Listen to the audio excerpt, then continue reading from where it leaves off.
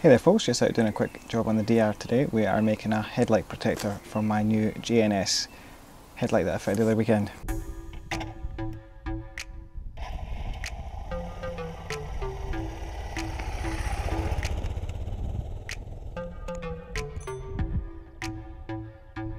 I had a headlight protector on the stock headlight, which was a Ventura headlight protector, but because the stock headlight is sort of curved, um, and the JNS one is flat, it doesn't fit on there.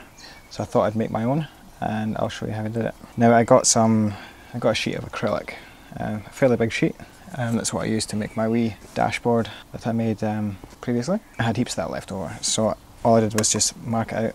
I measured the headlight, and I just marked it out with a pen and cut it out. Now this acrylic's quite easy to cut. All you do is get a straight edge and mark it with a sharp blade. We mark it 10 to 15 times and then it just snaps off.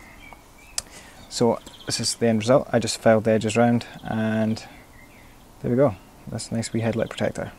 I bought these from Warehouse which is just double-sided velcro and we're just going to stick that on the back of here and onto the headlight and We've got a nice easy removable headlight protector. We're just going to stick it in the corners. Now I'm putting the hard side on headlight protector, not for any real reason.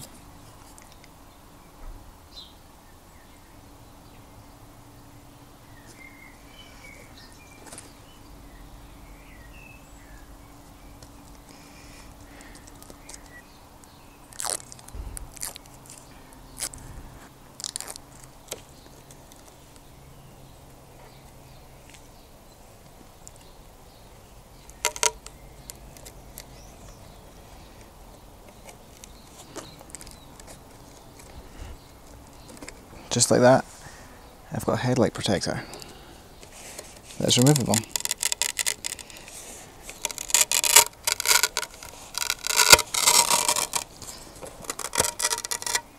can remove it to clean it or replace it if this gets damaged and then just slap it on. So there you go folks, nice, quick and simple, super easy. Anybody can do that. Headlight protector.